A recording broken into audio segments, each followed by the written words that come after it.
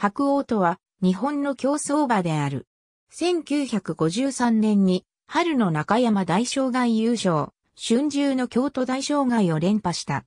京都大障害大池垣を飛び越する白王と、二遊別 C 中山大障害大土塁飛び越しで、つまずく二遊別 C、右は、白王父は1947年春の目黒、記念優勝バーサ富士、母は、足毛の優勢で、競争名、国際一として1944年の秋季京都の能力検定競争に出走したが2戦0勝。前弟に1959年春の京都大障害を制した11、そして同じく前妹に1972年の最優秀障害馬ムーテイチを生んだ無前朝市がいる。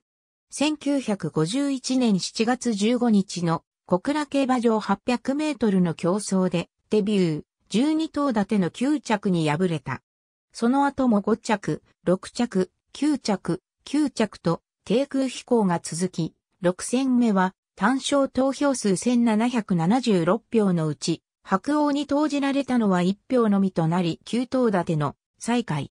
7戦目では単服とも1票のみで7頭立ての6着、8戦目でついに単勝無投票となった。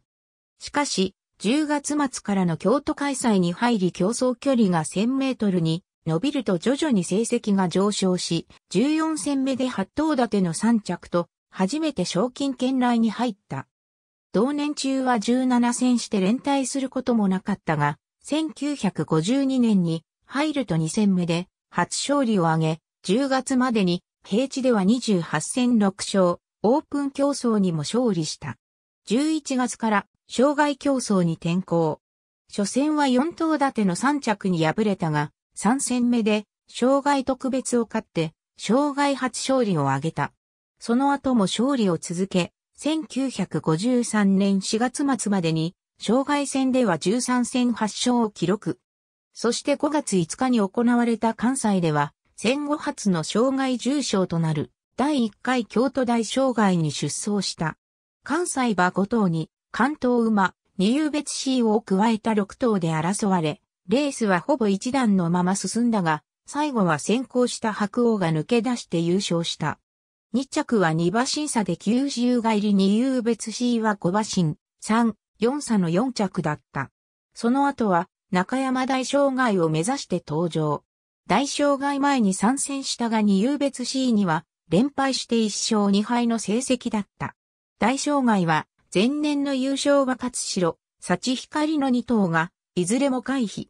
新鋭の桃太郎、覚醒、幸房なども出走を見合わせ、結局白王のほか、二遊別シーと浅峰の3頭だけで行われることになった。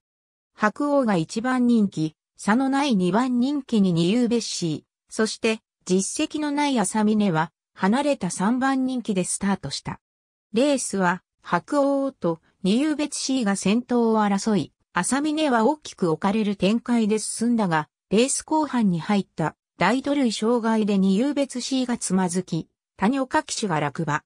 これで勝負は決定的となり、そのまま白王が独走のままゴールを駆け抜け、遥か後方の浅峰が大差で2位入選した。その後白王は8月末の平地戦で復帰した後、障害6連勝。